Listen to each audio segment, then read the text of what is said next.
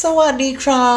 บ กลับมาพบกับช่องโอ้ปอ Channel กันอีกแล้วนะครับทุกคน ต้องบอกว่าในตอนนี้นั้นน้องลิซ่าของ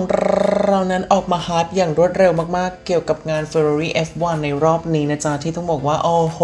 ปล่อยทั้งภาพต่างๆ แล้วก็บรรยากาศต่างๆ รวมถึงการขับรถ Ferrari ของน้องเองนะจ๊ะ ไปที่งาน F1 ในรอบนี้ด้วย ซึ่งบอกว่า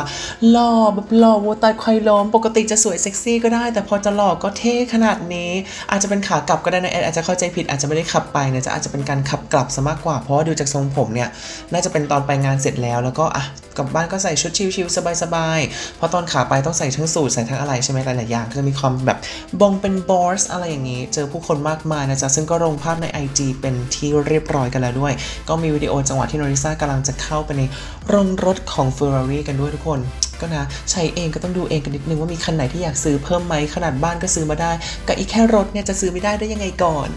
คนเป็นรวยช่วยไม่ได้และสวยด้วยเอ้ยหล่อด้วยนี่นาเอ้ยจะเป็นยังไงดีล่ะเพราะโนริซ่าของเรายูนิเซ็กซ์นะจ๊ะสามารถขายทั้งความหล่อความสวยความน่ารัก ความเปรี้ยวเยี่ยวราดได้หมดเลยนั่นเองจ้าหมายถึงเยี่ยวราดนี่คือแอดนะจ๊ะเออเดี๋ยวคนตกใจนะไม่ได้นะ แล้วไหนๆนะจ๊ะก็มากันแล้วแอดก็เอาวิดีโอที่โนริซ่าลงเนี่ยมาฝากกันด้วยพร้อมกับเสียงรถ Ferrari ที่แบบ ดังมากมีความเท่ มีความแบบเสียงเครื่องยนต์เครื่องยนต์หนึ่งกลุ่มจากพอริซ่าของเราชอบรถอยู่แล้วอะไปดูกันนิดนึงเนาะต้องบอกเลยว่ากรี๊ดแน่นอน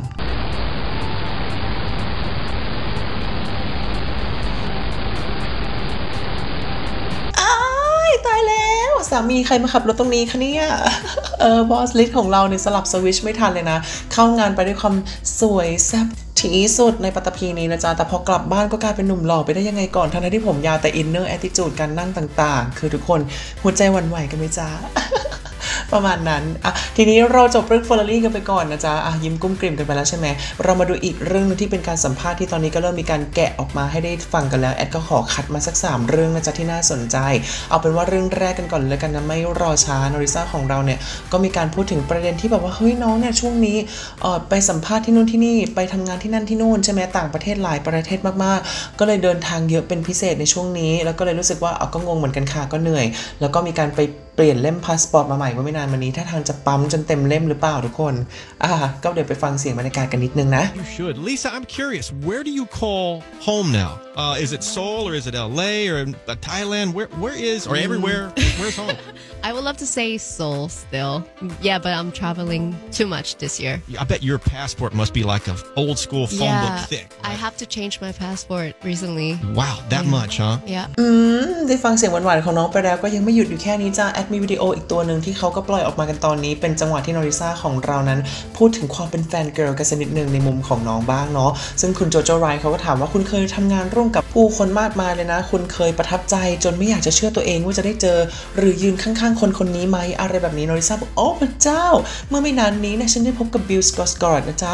โดยเขานะครับเป็นนักแสดงชาวสวีเดน เขาเป็นที่รู้จักจากการแสดงเป็น Pennywise ในภาพยนตร์สยองขวัญเรื่อง It แล้วก็ It Chapter 2 นะจ๊ะ ซึ่งดูเหมือนว่าทั้งสองคนจะเป็นแฟนทั้งคู่นะ ทั้งคุณคุณโจโจไรแล้วก็นอริซาของเรานะจ๊ะอะเดี๋ยวไปรับฟังบรรยากาศตรงนี้กันสักนิดนึงจ้า Have you ever been starstruck? like I can't believe I am meeting or standing next to this person. Has that ever ever happened? Oh my god, recently I met Bill Skarsgård. I don't know this name. Bill Skars Skarsgård. Um he's he's played um it as a That's him. Oh my god. I'm a big horror fan. That's Oh, oh right. he he is he can make the, the faces of the I it know, clown I know. without the makeup on. Yeah. What was that encounter like? I don't know. Did it freak you out because he, of the role he plays? Yeah, as I mean, well, I don't know. I just got starstruck. I was like, ไอ้ยา fanboy fangirl มานั่งอยู่ด้วยกันแบบนี้ คุณ Skarsgård ก็คงจะปลื้มมาก ๆ เลยนะจ๊ะที่ลงทุนแต่งเป็น Pennywise ในตอนนั้น แล้วก็แสดงออกมาได้โคตรหลอนมาก ๆ เพราะแอดก็ดูทั้งสองภาคแล้วก็ต้องบอกว่าสุดจริง ๆ ทุกคน ส่วนเรื่องสุดท้ายนะจ๊ะเรื่องนี้ไม่มีวิดีโอไม่มีอะไรแต่มีเป็นภาพนิ่งมาเนาะโดยน้องลิซ่าของเราเล่าถึงประสบการณ์ความหลอนจ้าเรื่องกุ๊กกูนะจ๊ะตอนนอริซาของเราเนี่ยนอนอยู่มีเสียงเคาะประตูดังขึ้นกลางดึกประมาณช่วงตีหนึ่งตีสองซึ่งนอริซาของเรานอนที่นี่ประมาณ 3 คืน ก็มีเสียงเคาะแบบนี้ทั้ง 3 คืนเลยเวลาเดิมด้วยเลยนะ ซึ่งคุณบอสเนี่ยก็เพิ่งนึกออกว่าตัวเองเนี่ยนอนหันหน้าเข้าหาประตู ซึ่งนอริซาของเราก็ถามโรงแรมเกี่ยวกับเรื่องนี้ด้วยนะว่า มีเรื่องอะไรที่คุณเนี่ยพอจะเล่าให้ฉันฟังได้ไหมคะแหมถามแบบนี้โรงแรมเขาก็ไม่เล่าให้ฟังแน่นอนนะซึ่งโรงแรมก็ตอบว่าไม่มีค่ะอะไรอย่างนี้ เดี๋ยวลูกค้าจะกลัวกันหมดเออเป็นประสบการณ์ที่นอริซาก็อาจจะเจออยู่เรื่อยๆเนาะก็เนาะคนมีบุญบางทีก็แบบบางอย่างเขาก็จะมาขอสมุนหรือเปล่า อันนี้แอดก็ขอไม่ยุ่งดีกว่านะ พี่ริวจะไม่ยุ่งนะจ๊ะ เดี๋ยวจะแบบว่าน่ากลัวเกินไป เพราะฉะนั้นช่องเรามันเป็นความบันเทิงนะไม่ใช่เรื่องผีทุกคนแต่อนอริซาก็มาเล่าให้ฟังก็เอามาพูดถึงกันนิดนึง เพราะสมัยตอนอยู่ Blackpink ก็มีอะไรนู่นนี่นั่นนะเนาะเพราะฉะนั้นเราไม่ต้องพูดถึงเหมือนกันจ้ะเอาเป็นว่าสำหรับคลิปนี้ก็จะมาฝากกันไว้ประมาณนี้นะก็หวังว่าเพื่อนๆจะฟินกันยังไงมาเจอกันใหม่ในคลิปหน้านะครับ สวัสดีจ้า